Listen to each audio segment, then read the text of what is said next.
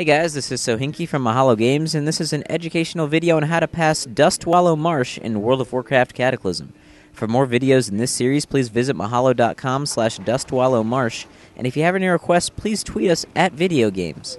As always, don't forget to rate, subscribe, and comment on this video.